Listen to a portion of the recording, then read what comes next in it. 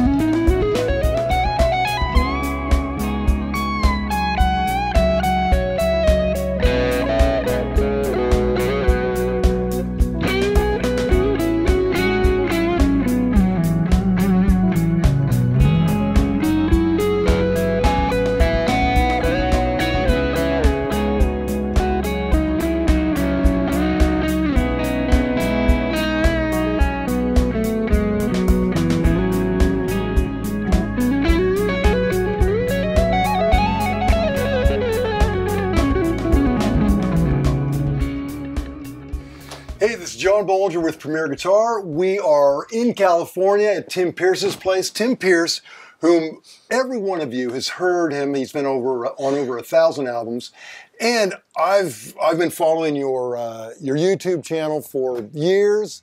Thank you for all the stuff you've shown me. Uh, And likewise. and of course his master class, which you all should check out. Thank you. and right now, Tim's going to kind of take us through some of his rig. well, this guitar I got down the street at Norm's. It's dangerous living up here, uh, uh, up the hill from Norm's because you get into trouble. You could do some damage. yeah. And and so this guitar I got there, it's a player grade 62 and has a very very thin playable neck. Now the reason I got it, all my life I wanted a grade 335 and I searched and I couldn't exactly find one until I got this. And it's it's got a refret, which is the greatest thing because the thing I like about new guitars the most is they'll have perfect big fat frets. So this has medium jumbo frets. The pickups are Ron Ellis pickups, which sound great. I love Ron. I love player grade guitars because the exact thing that makes the guitar more affordable makes it better for me. The modifications are improvements. So the refret mostly on this is what makes it better. And I actually love new pickups because all these guys that we know are making the most astounding like PAF style pickups now. So this thing, I finally got a great 335. It was affordable. Um, it's really playable. I can modify it if I want without feeling guilty or dinging the value. So thank you, Norm, for this thing. And uh, you know, it's funny. I don't go down there on purpose sometimes Right. because if you go down there, you know, you might end up. Oh, here's two guitars and some cash. I need that one. You know, it's it's, it's really funny. Oh yeah, he's built a business on just that. On, um, yeah, they, I, hearing you come in playing that and just going through the pickups and how every sound is just perfect. Yeah, love it. Yeah, well, that's an that is an excellent start. Okay, so this next guitar is almost brand new. Now, you're going to hear that from me a lot. I really love new guitars. I know it's kind of heresy in some ways, but there's a lot of reasons I like new guitars. And part of it is when I was a kid in the 60s, most of the guitars I was looking at were new. And it's just I haven't really lost that enthusiasm for the new guitar on the wall. Sure. Anyway, I searched on Reverb for this for a number of months, and it had two of the three things I wanted. I wanted a particular wide flame, and I wanted a very lightweight guitar. This is seven pounds, 13 ounces. Wow. The one thing I really would have loved if it had been Tobacco Sunburst, because I keep getting Cherry Sunburst Les Pauls. So I have another one now. So this guitar is really amazing. It's a 1960 reissue from 2020. And but the best thing about it is that I designed the pickups with Rob from Arcane Pickups, and there's Oh, going to be a signature version of these coming out in a few months, and I'll talk about them in a second. But I really wanted a light Les Paul, and when I got the guitar, it had the skinny vintage frets, and I had it for two days, and I took it to Norik Renson, and he put medium jumbo frets in it. So I bought the guitar new, knowing I might have to refret it, and I did because I, I like the taller frets. So I did that, and now it's kind of a dream guitar. So these signature pickups, this one, you know, they're kind of low output. This is Alnico 3, and this is Alnico 2. This is 9.1K, and this is 7.6K. Now, the reason these pickups are so important to me is my favorite pickups over the last 20 years are a pair of Tom Holmes pickups that I just bought randomly. And I know Tom Holmes pickups are pretty expensive and pretty hard to get. Well, it turns out Rob at Arcane knows all about Tom Holmes pickups, and indeed, he actually was part of making a licensed Japanese version of these pickups. So he knew exactly what I wanted when I said I want them to sound like these Tom Holmes pickups. He nailed it. Uh, so the bridge is really sweet and warm, and then the neck is also the neck reminds me like of a P90 a little bit, but they're very low output, and they're going to come in a much more vintage looking, you know. Uh, these are polished, but they're going to Sure. be nick whatever you want. Actually, they'll be uh, uncovered or any style of cover you want, but they're really, really warm. And they're also very balanced. We went through some effort in making them exactly the same volume. Oh, and yeah. oddly, they're a different, you know, value, but but you know, not knowing anything about pickups, he knew exactly what to do to make them perfectly bal- balanced volume-wise, so that when you put them in the middle, and you go. So when we first started on these, the neck was a little bit louder than the bridge, and so he had to do some reworking to make this the exact same volume.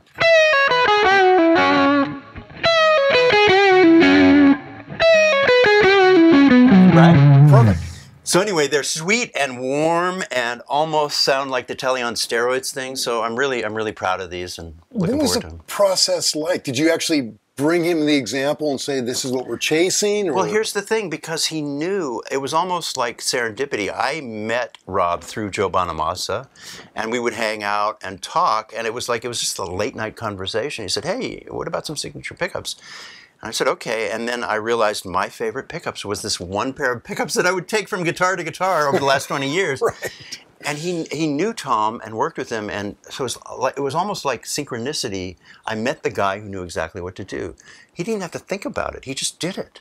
So the universe provides, yeah, right? super happy. So these will be out soon. yeah. So yeah. this, How will they? Will people find these pickups? uh, just just if you want arcane, just follow Rob at Arcane Pickups. He's kind of a master, and it's not going to take him long. We're going to do you know a couple of hundred probably, or maybe a hundred. I'm not sure what the first run will be, but it'll be soon. And uh, just look for Arcane Pickups. You know, I totally agree about the whole vintage pickup thing because it's it's such a crapshoot. You never know with PAFs. They're no two are alike. It's true. And I mean, they. In fact, we were with um, Seymour Duncan yesterday, and they were talking about how uh, when they were doing this kind of archaeology of looking through old PAFs, they would find that the magnets varied all the time, and uh, and they were because they kind of used whatever they had. That's true. It's whatever they had around at the time. I mean, Yeah. Vox amps were like that. I tried to find the Holy Grail Vox in the 90s, like all the time. I keep buying them, and they were all different because it was just whatever parts they could scare up at the moment. So, Right. yeah, it, th- these days, I feel like the vintage aesthetic has been brought, brought forward by all our buddies, and, and really every company makes great pickups now. God, there's yeah, it is. It's kind of a new golden age. Truly. Yeah. Okay. Well, congratulations on the on the signature pickups. Yeah, They sound thank you. amazing. Thank you. All right. All right. Let's let's look at more guitars.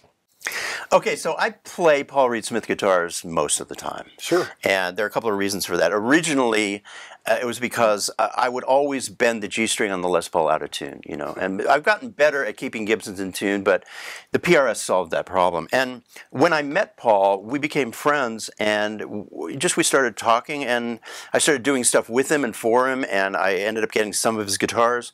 This one I bought. I actually had them make me this guitar, and I paid for it. And the thing I wanted was maybe the most plain P- PRS visually that I could get.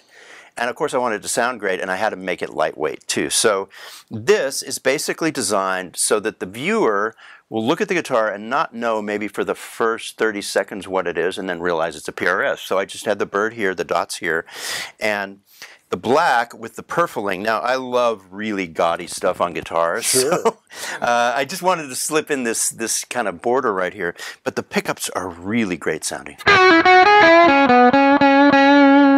I mean, Paul never quits, so he's always upgrading everything, and these pickups are so sweet.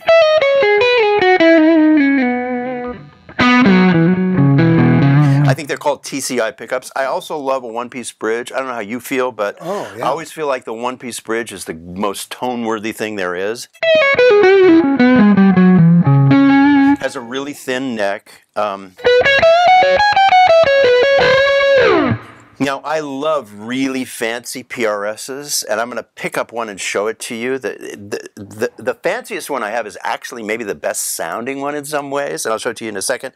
But this one is the guitar I play when I play live because of the look of it. You know, it just disappears, and you, you don't exactly know it's a PRS until you investigate. So I like the kind of the mystery of it. Yeah, Sounds beautiful. amazing too. Yeah. You know, it's it, it is so cool the way Paul is always. He's always looking, always trying to improve it. Always. You know? Yeah. A friend of mine was in the airport flying with his PRS, and Paul said, "Hey, let me see that." Didn't even know the guy, and uh, Paul he shared it to him. He said, "Oh man, I should I should fix this," and he had him send it to him, and he did whatever he did to it, just because he can't leave it alone. He's always Yeah. improving. Yeah. Always improving. Yeah. He even said to me the other day, he said, I realized I've been putting the bridge pickup up too high. Like forever, and so now he lowered when he when he sends his guitars out. Now the bridge pickup is lower because he thinks it sounds better. So, uh, yeah, it never ends with him. So let me grab one more PR. Oh yeah, let's see it. Yeah. Okay, so I did a bartering thing for Paul where we did the music school a couple of years in a row and I said, you know, it's fine. I'll bring I'll bring a bunch of people, we'll sell a bunch of tickets and just make me another guitar. And I, I told Bev, I said, what are the widest flames you have in the wood library right now? So she sent me a couple of photographs. I picked one, and this was the one. And it's really three dimensional. I mean, you take it outdoors, and it, it's it's like hills and valleys when you look at this thing. And I think that he probably is annoyed with me making it so gaudy because once again I did the purfling, had to have it, right? And and then these birds. Once I saw these birds, it was like I had to have them. And then I even had them do a little purfling around there. And the and the curly maple binding. Oh yeah, yeah. That, mean- even that. I mean, it's like these. Yeah, it's like God. everything is is on the gaudy side, which I love. And this one actually sounds really good. This might be the best sounding PRS I have, in addition to be, being the most uh, over the top visually. and I even put eights on it just as an experiment. They sound good. There's a sort of a richness to it. Okay, so what, Mm-hmm. what gauge do you normally run? Okay, 9 through 42. I spent my entire career doing 10 through 46 and 11s also because in the studio, those were good rhythm gauges, right? But now that I'm kind of my own boss, I'm back to being a teenager and it's just getting lighter and lighter. I just want it to be easy and fun Yeah, yeah. at this point, you know. Love easy. Now 9 through 42, but, Yeah. but it just depends on the guitar too. And you went eights on this. Yeah, and I'm liking. I'm going to experiment with eights now too, but I love this guitar, and I'm a little bit uh, uh, self-conscious about how you know fancy it is, but. Uh, I picked out the wood, and they built it for me, and I'm really happy with it. Well, Tim, you deserve fancy. That's uh, that's okay. Thanks. Fabulous. Okay, right. that's going to be a hard one to beat. Yeah. But let's try. So, uh, my stepson, who I raised, one of his friends, uh, I traded for this guitar, and it's very meaningful to us. We'll never sell it. I'll just hand it down to somebody else in the family.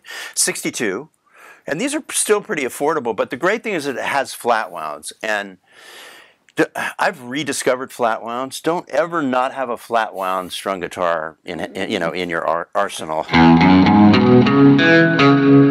Oh yeah. I mean, it just sounds like all the records I grew up loving. So do you ever change the strings? Or? don't really have to. They don't really um, corrode much. I've Sure. found, yeah.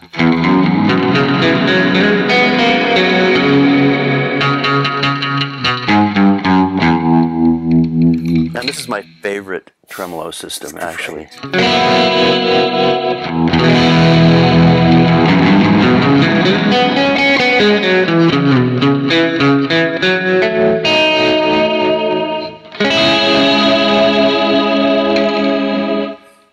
Perfect.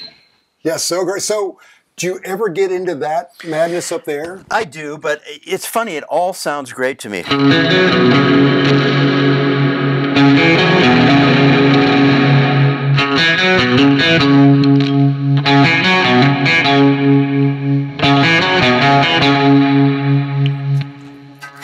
Yeah, Ah, the, the the inadvertent, the inadvertent turn it off. That is what. Yeah. what, what to.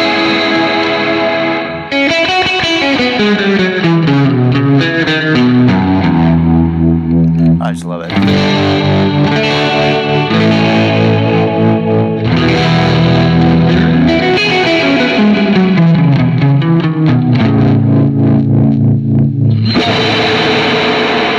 Yeah, the guitar made to be played. I have the reverb on an expression pedal, which we'll talk about too. But anyway, That's great. Yeah, you thank you. play it while you're on your surfboard. Yeah. okay, let's let's look at more. I love Okay, that. I got one more. So this guitar is new to me. It's a Mario Martin. And a friend of mine bought this guitar and he sent me a picture of him holding it up with two fingers. So he took two fingers and he, he held it like that. It's four pounds, 13 ounces. It's such a pleasure to have, you know, in my hands. Uh, I play it all the time. You know, part of the reason it's light is because it's a hardtail, okay? But this guitar is really, really magical, and it sounds really buttery to me. Um, I put some distortion on it.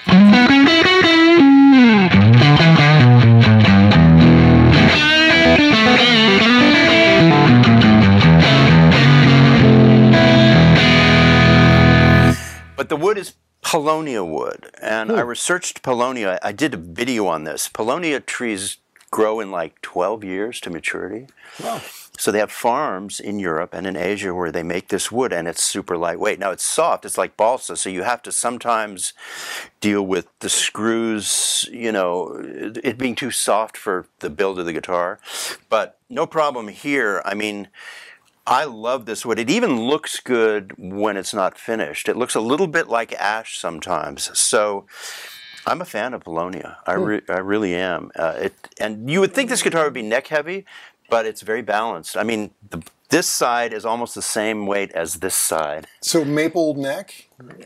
Roasted maple, yeah. It's beautiful. it's really an awesome guitar. And like I said, it sounds buttery. It really sounds good. Isn't it interesting how when you pick up a Strat, you just play differently? Oh, so true. It just brings stuff Yeah. out. Any guitar does turn you into a different guitar player. Yeah. And uh, my, one of my sins as a guitar player is I like guitars to be really easy to play, and then I get more and more smooth and more polished. And there's nothing better than putting me on a guitar that I have to fight because then I sound more more emotional, maybe maybe younger sometimes. I don't know, but you're right about that. And a Strat does make you play different.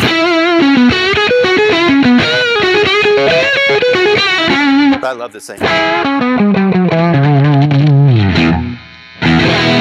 Oh, and the pickups are not, they're not silent. They're very noisy, so I, I hide the noise. It's part of the charm. Part of the charm, yeah. It really is. I mean, that's that is like part of that sound.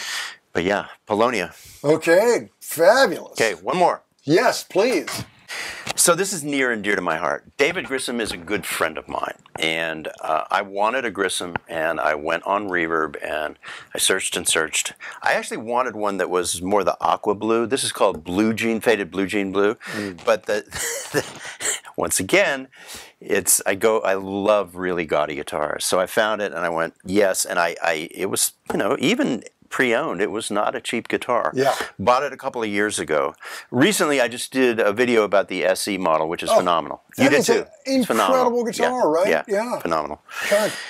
Um, but this guy, I mean, what he, what David, the story of what he put into these guitars, the amount, you know, just years on the pickups, years on designing it and, and making it just the right thickness, even the tremolo system. I mean, everything.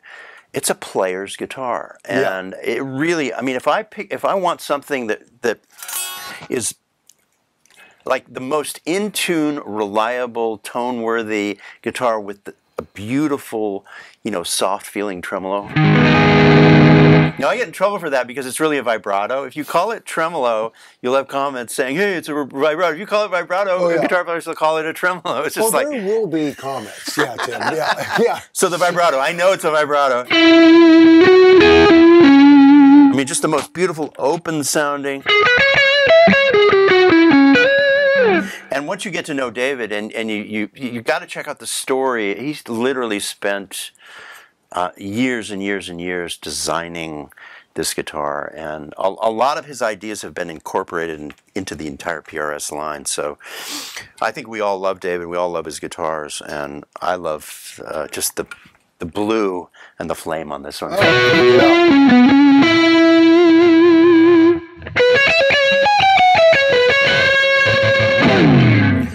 And it's really its own thing. I mean, you get sounds out of the guitar that are not, Yeah. you know, they're not, they're not anything else. No, it, you can really almost, if you close your eyes, you can think, oh, is that a single coil? Uh, yeah, that is like a Swiss Army knife of a guitar. You can kind of cover it all.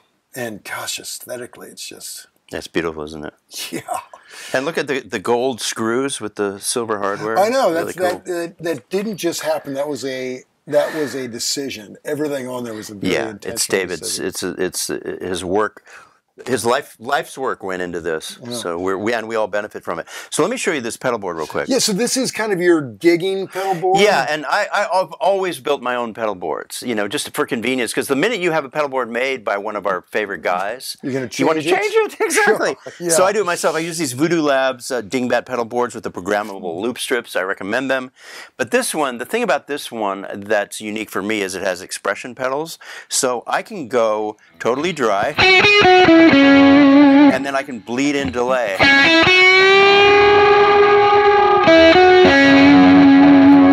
And is it the Strymon delay that you're? It's uh, the Meris. Okay. Yeah, it's a new Meris.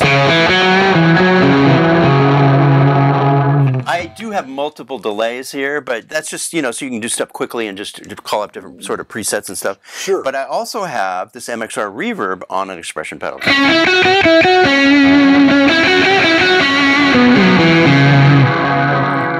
And then it's situated so if I want to, I can do both expression pedals at the same time and bleed in delay and reverb. So it's dry.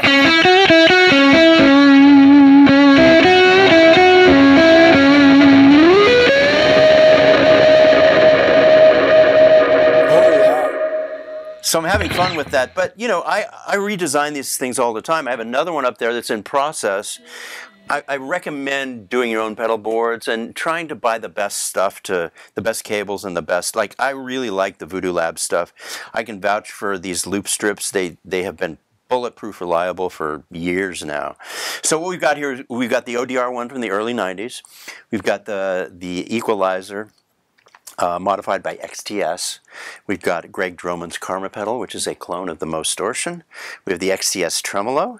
We have the Vibrato, uh, and I love the Waza Craft Boss Vibrato. Also, Oh, right. the new one's great.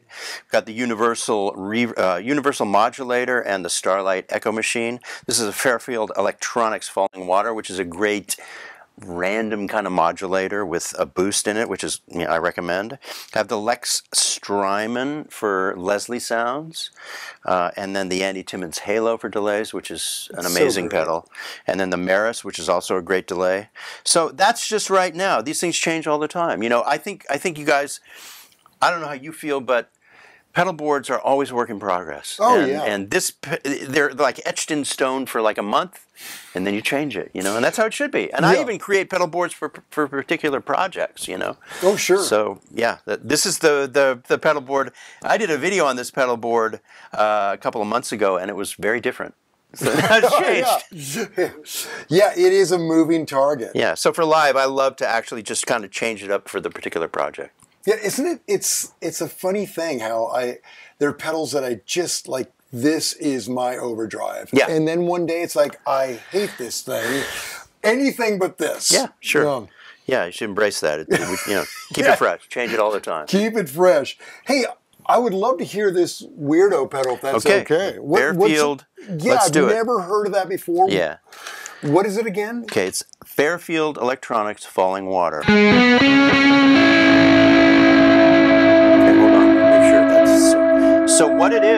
Is it's you can really, really twist it.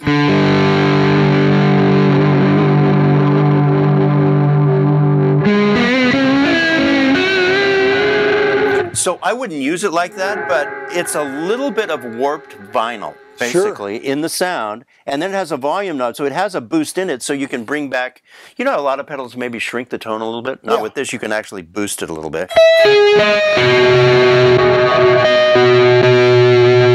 see when i kick it on it, it jumps up a little bit so that's good too so i recommend it you just have to really work with it and find the the warble and the wobble uh, and the warped sound that's not unmusical. You know what I'm saying? If you Oh, take yeah. it too far, it's not musical. Yeah, so just right before seasick is when it's really the the sweet. You've done this before. yeah. yeah. So yeah, I love it. Okay, very cool. Okay, and this is gigging around. Yeah, I, I- yeah. I take it to studios. I use it live, and yeah, it's and also I learned. I mean, uh, in earlier in my career, I had massive pedal boards. Sure. It's just you got to be able to carry the thing. So now I have two of these. If I really want overkill with you know all kinds of whammy pedals and stuff, I have another one of these. You know that that's up there getting you know being born. Sure. So Sure. you don't need a big pedal board. It should be big, big enough to get you what you want, but not too big to carry around. Yeah, yeah, because because if it's it, the bigger they are, the more trouble you're gonna have. Either things breaking or hauling around or whatever. yeah. Well, okay, I love this, but I really want to see the command center because that's what I've been watching for years, and I That's the real rig. Let's go back. there. yeah. Okay, so Tim, we are in the command center. I'm hiding back here. I, I've watched a lot of these videos, and now I know exactly how it's done. yeah, okay. This was designed to, for speed and overdubbing because I spent my whole life in recording rooms looking to the side of people, being in the corner. In, it just, it, the feng shui of overdubbing always was a little problematic. So, what this is, there's a client desk, it's mirrored Pro Tools stations. I can run it if I'm faster, the engineer can run it if they're faster. If the teenage artist is losing interest, I can do something to raise her level of attention. If if everybody's looking at their iPhones, I can try and get them out of that mode because I'm looking straight at them. So and for communication, I can see if somebody's about to make a move. What it what it's designed to do is to shave five seconds, fifteen seconds, twenty seconds off of every task, so you can get four hours of work done in two hours and it's worked like a dream. I really really love it. The monitoring uh, you know i have monitors facing me and there are monitor- monitors facing the clients. So there's a little bit of a wash from the monitors. That's the only drawback to it. So basically it's an airplane cockpit. So at the heart of it in oh, and we're going to film this. I have my blast area downstairs. I have a vault with six 412s and a Vox cabinet too. So, Wow. and these 412s all have different speakers. I went crazy with vintage speakers at a certain point. So there's speakers from 68, 1970, 1971, and 1978, and then brand new ones, and then ones that have been reconed that are original vintage speakers with recones, and that's a thing too. Those sound good too. Okay, so how are you just okay? Speaking about your your cabinets alone, how are you controlling which amp is going to which? Ca- are they dedicated to one, or you can you switch them up? So there's a Kahayan amp switcher right here, and you know there's a couple of really good amp switchers available. This is Kahayan; they're friends of mine in Spain, and I even visited them in Spain last October. So this particular one is their big one. you can do 16 heads and eight cabinets. Wow. I'll never get there, but uh, Well, who knows? Yeah. I don't know. So all I do is choose the head and choose the cabinet, and then I have mic pre's dedicated and microphones dedicated to each cabinet too. So I choose a pair of mics, which is usually a 57 and a Roy or a 57 and another dart, large diaphragm mic, and I just I choose whatever head. And this is my palette of heads right now. So I've got the divided by 13, the Park A lot cleaner, a lot more headroom. Number three is this Joe Morgan Vox AC15, which really distorts nicely. And then amp number four is my Bad Cat. Ooh. You just heard the gate on the Bad Cat Lynx. It's a really great high gain sounding head.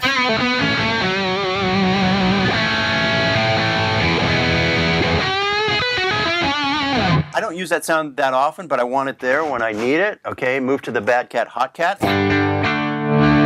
Cleaner, more headroom. Right, and then I move to my Marshalls. The top Marshall is a 1968 Super Tremolo that a friend of mine had for 50 years and then sold it to me. And the thing about plexis, you guys probably know this, they're pretty clean. So it's it's a really great loud clean amp. And then Paul Reed Smith uh, gave me this other head that's great. It's a, a Marshall PA head. I think Eric Johnson had it for a while too. It distorts beautifully. Okay, so I like amps that get to the edge of breakup. And then I like to do the rest with pedals. So if I go over here, this is my palette of pedals. And I have the ODR1. The ODS one, designed by John Shanks and Vemuram. The micro amp, which just kind of hits the front end of the amp like a big fist. Right now I have the broadcast. And then the Jeorge Tripps Red Llama. Uh, I had two of them on at the same time. See, I moved fast back here. Sometimes I don't know exactly what I'm doing. So now over here, this is kind of new. I used to have a Diezel VH4 here, and I sold it. I regret it a little bit because it had Mullard tubes and it sounded great. But now I have this shelf that my friend built for me. And so at the bottom, I have what's called the boomerang shelf.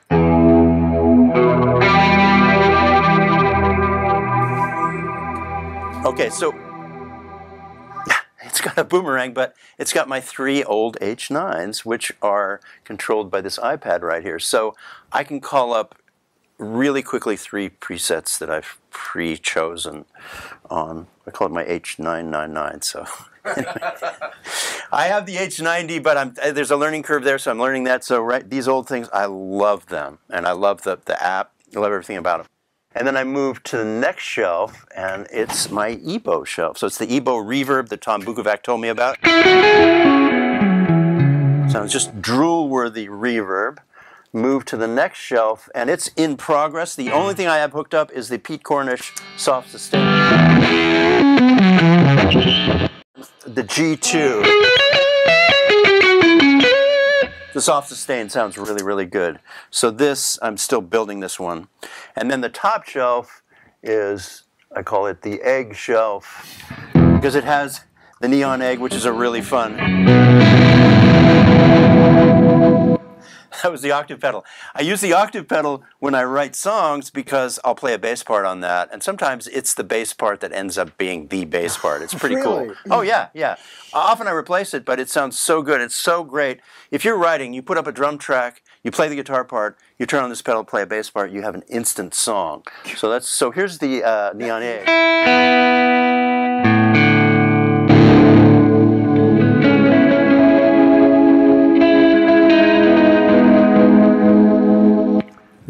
Has a delay, modulated darkened delay. It has a, um, a compressor, and it has a reverb. so it's, it's a really cool thing. I just I bought it because it looked cool and it sounds cool too.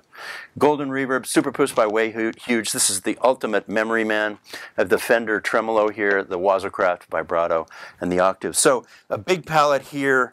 These are my gain pedals. Oh, and one gain pedal that is a really great secret weapon is the EVH by MXR.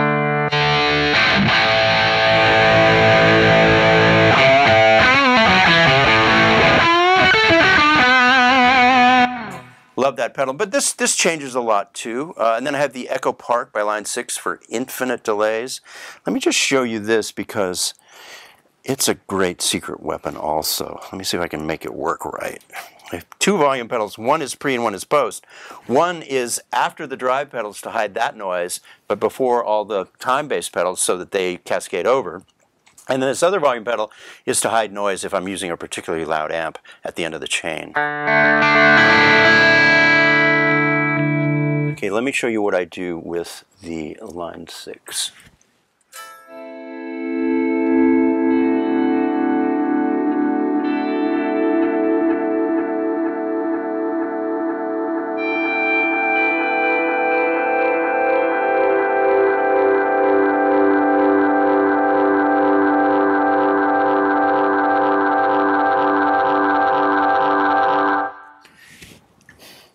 Is a musical, you know, build when it when it does infinite repeats. Yeah, so I love that. using- The stuff it does, the, the stuff pedals do when they're out of control, to me is the most interesting. Yeah. You know, they, they like they make a contribution you could never think of.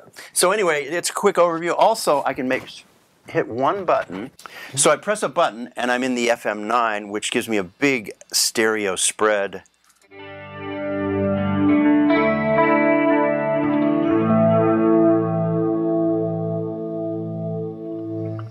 And I have one of these patched in as a, an additional delay.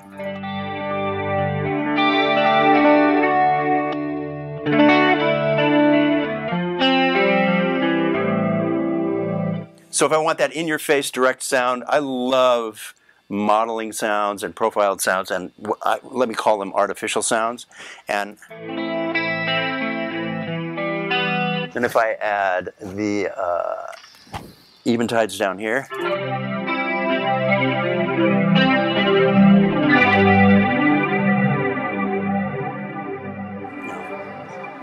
It's a whole nother world. Oh So, yeah, amazing. yeah, press so, button. just how loud are these amps? Okay, so they are, I, I use two phrases. They're jet engine loud and they're stadium loud. How, Tim, this is the most dialed-in home rig I've ever seen. Because you can, Thank you. I bet when you're doing, you know, when, when you go in to do a session, you could never get at this setup. I mean, you Well, you'd have to build something. Your cartage guys would show up with the rig, and you you know you you did it and you had it, but it's so much nicer. I, this is like a Ferrari. If you know, it's just basically as simple as turning it on, and you're driving 100 miles an hour. So yeah, it's right. no setup. It's the immediacy of it. Yeah. Because I, I, I find it so uninspiring setting stuff up and checking sounds. Yeah, that's the idea. Any distance between you and your creativity is gonna maybe you're gonna lose enthusiasm. Oh, you're Oh, gonna yeah. lose something. So